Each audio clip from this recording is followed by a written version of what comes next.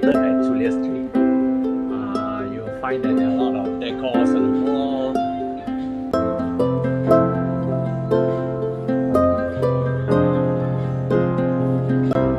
Nice, isn't it?